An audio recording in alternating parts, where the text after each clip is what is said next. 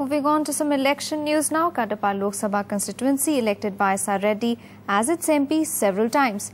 But it will be the by-election on May 8th that will determine his son Jagan Mohan Reddy's political future. Now, the ruling Congress party is a formidable rival and the party marshals are using all its sources to defeat YSR's son.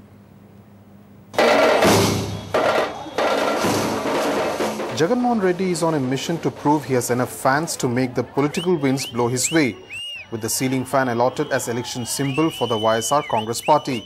YSR's son Jagan is contesting the Kadapa Lok Sabha seat and his mother Vijayalakshmi is fighting for the Pulivendula assembly seat. This is a prestige battle for the Congress. No wonder then that Kiran Kumar Reddy has deputed 14 ministers of his cabinet to campaign for the Congress party.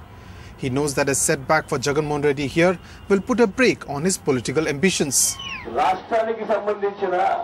ప్రజలకు సంబంధించిన సమస్యల్ని గాలికి వదిలేసి ఏకంగా రాష్ట్రంలోని సగం మంది మంత్రులు కేవలం ఈ ఎన్నికల కోసం కడప జిల్లాలోనే మకాం వేశారు To match Jagan's crowd pulling abilities, Chiranjeevi, who joined the Congress after Jagan's exit, has been asked to campaign.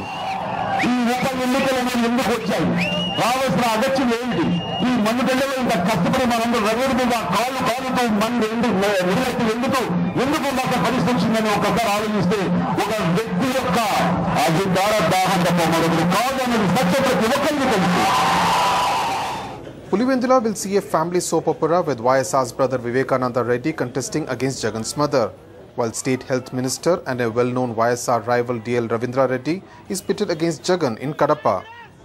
In Hyderabad, TS Sudhir, NDTV. NDTV's cricket app, Android and iPhone. Fastest scorecard, special analysis, and much more. Download free.